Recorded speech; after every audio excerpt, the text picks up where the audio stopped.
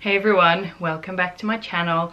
I am still trying to switch things up and film in different places now that I have lighting that I can move around. So let me know what you think of this setup opposite side of the bed. Normally I sit over there facing the window obviously.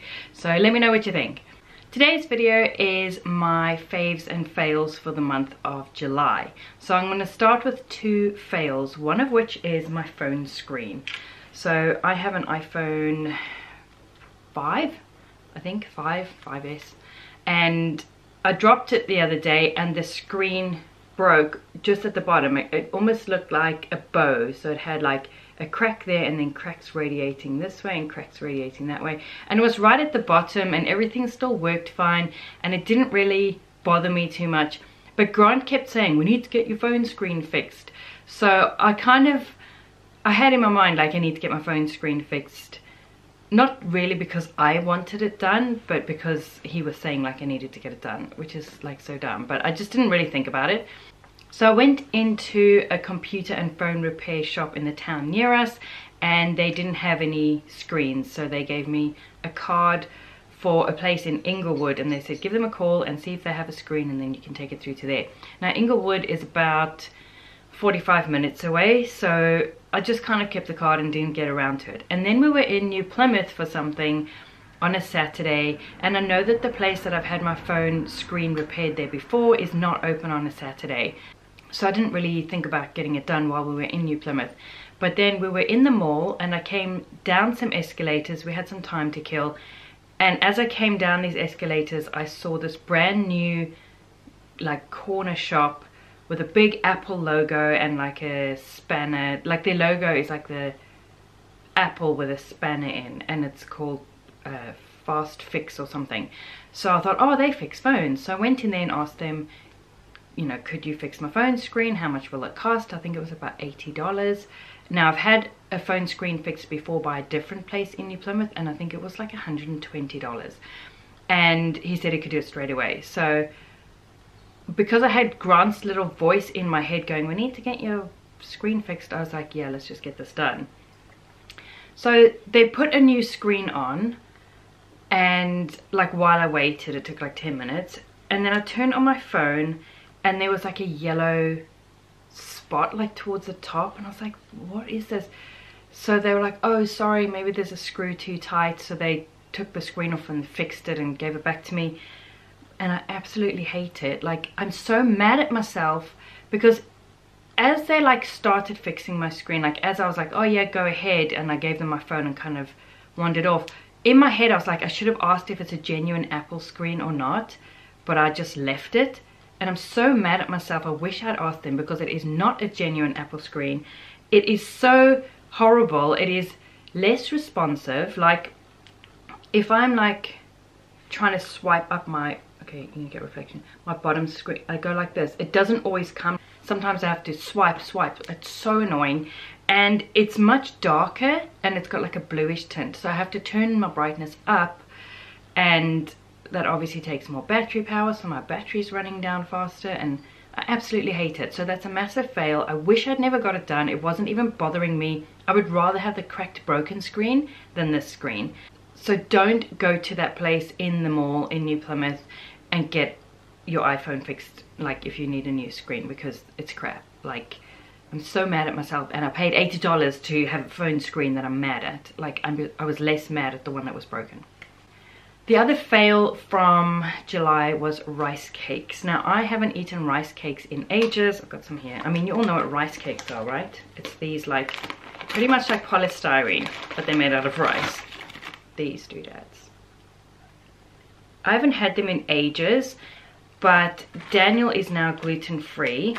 He was having some gastric distress, let's just leave it at that. And I said to him, you really need to go gluten-free because ages ago when he'd gone for like a routine doctor's appointment and you know they weigh you and measure you and take your blood pressure when the nurse practitioner was taking his blood pressure, she noticed he had tiny little bumps on his arms and she said, oh, that's usually a sign of gluten sensitivity. So I said to him, if you're sensitive to gluten, you're better cutting it out before it turns into like an allergy or an intolerance. Like get ahead of it, but he wasn't interested at all. So anyway, he had these stomach issues and I said to him, you really need to try cutting out gluten. And because he was so uncomfortable, he said, yeah, I'll give that a go. So he's gluten-free now. That, wow, that's a long story, Daniel's medical history.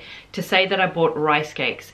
And because they were in the house, I was eating rice cakes. And I kind of took a couple of days to put two and two together that the rice cakes were causing me some gastric distress. We'll leave it at that. I'm not going to go into symptoms but i had a very unhappy stomach. And i don't know why because i can eat sushi i can eat risotto i can eat you know regular rice i can eat rice porridge i can eat rice crackers. Not a problem. But rice cakes which literally just has rice and i think salt in there's nothing else in them i did not get on with them so that was a massive fail and i won't be eating those again Okay, moving on to favorites. I don't have a whole lot. I'm not going to pad out my favorites with things that I wasn't taking note that I was really enjoying. So I just have a few things to share. First one being finally starting to paint the house. It is so beautiful. I just love it so much. I'll link the vlog over here if you haven't seen it where we began painting the house finally. It's all I wanted to do from the minute we bought the house three years ago was get rid of that yellow and the weird blue stripes on the doors and windows. Like why? Anyway, I'm so happy to finally be doing that.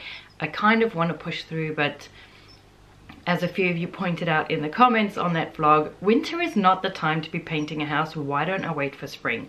I didn't wait for spring partly because I just couldn't wait and partly because there was some damage to the house where the paint had chipped and the bare wood was exposed and it was eroding quite quickly and I was just kind of wanting to get it done, to get it kind of patched and sealed and painted before it got any worse. Now I know a couple months is not going to make much difference but like I said, I just couldn't wait and I just wanted to get stuck in. I know it's going to take a long time, a lot of hours to paint the whole entire house and in spring I'm generally super super busy with gardening. I spend a lot of time gardening really intensely in spring, a lot of hours in my greenhouse and I kind of didn't want to have to juggle the house painting and the gardening. I'm still going to have to, obviously I have plenty more house to paint but I just wanted to get a head start. Anyway, I'm really enjoying the bits that have been painted and I can't wait to get the rest done. My next favorite are these wireless headphones. I shared them in a vlog when I bought them. They are Skullcandy Ink'd. I'll link the exact product down below. I looked at a few and I chose these in the end because they had good reviews. The price wasn't too bad compared to some of them. I think these were $89, which is still, I think, ridiculously priced, but like I said, they were cheaper than some of the other good quality ones out there. So it has this very, very lightweight band that just rests there. I really didn't want some like this. I just wanted some that went in your ears. But like I said, I looked at what was available and the prices and the reviews and in the end decided on this one. And I really don't even feel this. Like I get bothered by things very quickly I'm sensitive to how clothes feel and having hair on my neck and face one of the reasons I have short hair. So I really thought I was going to be bothered by this but it doesn't bother me. It bothers me way less than the cords on my old earphones which were not Bluetooth. Anyway then you have these doodads which go in your ears obviously. They have um, like a rubber tip and it has two different sizes of rubber tip for your ears to obviously find the one that fits you the best. It has a little port there that you can charge them. The charge lasts quite long, like I was quite impressed with how long they last before the battery goes flat. And then it has the controls here. Excuse the paint on it. Clearly you can see people kept coming to me and talking to me while I was painting and I had paint on my hands and I had to pause my podcast and got paint on it. Anyway, so you can just press the middle to pause, volume up, volume down. You can take calls on it as well and they've just worked really well. They've done what I wanted them to do and that's been a favorite. I've used them a lot. So I highly recommend these and that is all I have to say about those. Moving into the kitchen for my next favorites. My favorite was actually from the previous month which was a meal kit swap video that I did with two other YouTubers who live fairly nearby and that was so much fun but what that's actually done is taken me right out of the rut I was in with regards to cooking it's really just lit a fire under me, reignited my interest in cooking and my interest in trying different recipes. So not only was it fun to do and I got some new recipes from doing it. I will link the video over here so you can go and check it out. But it's kind of just reinvigorated me in the kitchen. So I have tried a few new recipes and really enjoyed them and have added them into rotation. One of them is for paleo chocolate ice cream but I don't have an ice cream machine and I don't want to have to freeze it and take it out and beat it and freeze it and take it out and beat it and if you don't do that and you freeze an ice cream mixture it doesn't have a great texture and it gets ice crystals in it so what I did is I used the recipe to make chocolate ice blocks as they're called in New Zealand or popsicles I got a popsicle mold from the op shop and I just pour it into there and after about an hour I go and stick wooden spoons in and finish freezing it. Grant and I have actually found that it's fine just frozen in little pots. It's less hassle, it's easier to do and if you just let it soften a bit before eating it then it's it doesn't have that horrible kind of ice crystal texture. But you can also use the exact same mixture and just pour it into little pots put them in the fridge and it makes like a chocolate pudding or like a chocolate mousse kind of a texture. So that's been a good recipe. It's quick it's easy it uses pantry staples. I will link everything down below. I also made coconut mango popsicles. I didn't really follow a set recipe. It was basically a can of coconut cream, a whole bunch of frozen mango. I poured in some maple syrup. I whizzed it up in the food processor and then I froze that. And that also slightly defrosted so it goes really creamy. We've really been enjoying that. Another recipe that we enjoyed was creamy sun-dried tomato chicken. I don't usually cook with sun-dried tomatoes, so it was really enjoyable to have just a, a different flavor in our food than, you know, the staple ingredients that I'm always cooking with. So that was a keeper. I also did a balsamic roasted chicken dish. So you kind of marinate the chicken thighs in this balsamic marinade or dressing and then you roast it with Brussels sprouts and red onion and that was really delicious as well. And then a favorite that I've made a few times is paleo pumpkin hummus. So I can't eat chickpeas, but I made this hummus from this recipe which uses cashew nuts, which you soak, and then pumpkin, and I had pumpkin puree in the freezer, so I could just use that. It's got tahini in and then spices. It was so delicious. Like Grant doesn't even like hummus, but as you would have seen in a recent vlog, he was eating the hummus like practically out of my mouth. I was eating it for breakfast. I would step away from it and he would be like in there eating it. It was so delicious. We've really been enjoying that as well. And then staying in the kitchen for this favorite, it is this lidded roasting dish. Hang on, the lid's in there. This is a metal or like enamel roasting dish. It was $15 at the warehouse. So inexpensive. It's really big. You can see like next to my head.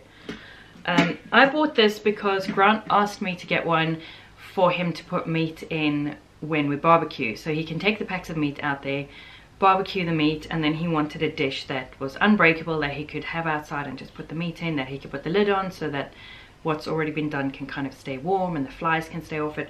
So this was just perfect. $15, like I said, really inexpensive. But I found that I've been reaching for it as well. I've really enjoyed making oven meals in it, like I mentioned the balsamic chicken, the sun-dried tomato chicken. Normally I would do that in like a glass baking dish, but there's just something about using this dish that gives such a nice texture to the sauce and it really kind of I just feel like it roasted from underneath better than a glass dish would. I've made a curry in it in the oven. Curries, yeah, you can do them in the crock pot, but I feel like the flavors are, it has a better like roasted flavor and more intense flavor and the spices just taste better if it's done either slow cooked on the stove or in the oven. So really been enjoying this dish. It's been quite versatile and we've got a lot of use out of it and you just can't beat the price if you want to see inside it just it has two handles which is convenient and then it's just like that inside. So that's a win.